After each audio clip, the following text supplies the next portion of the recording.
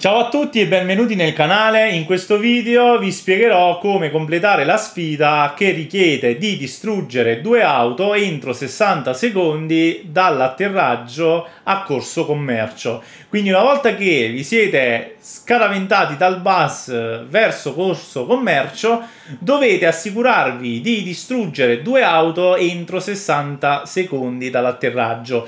Come vedete ci sono tantissime auto il mio consiglio è quello di atterrare qui perché sono molto vicine tra di loro, come potete vedere.